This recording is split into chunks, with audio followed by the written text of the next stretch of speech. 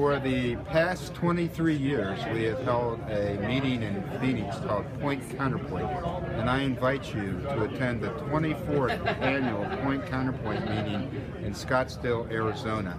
The unique feature of this meeting is we bring together experts in a lot of areas of urology, medical oncology, radiation oncology, family practice, and we actually have debates. It's called Point Counterpoint about different ways to deal with things. People take different points of view, um, and we discuss those.